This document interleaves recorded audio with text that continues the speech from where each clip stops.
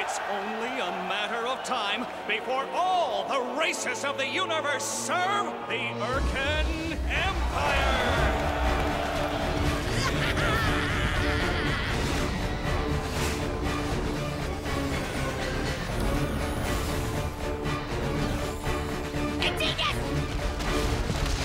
Welcome home, son.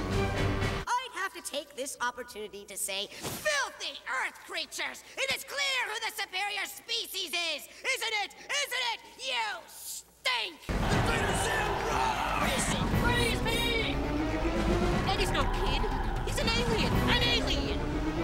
I'm not just gonna sit back and watch Zim get away with his... his things he do. Things he do? What's your problem?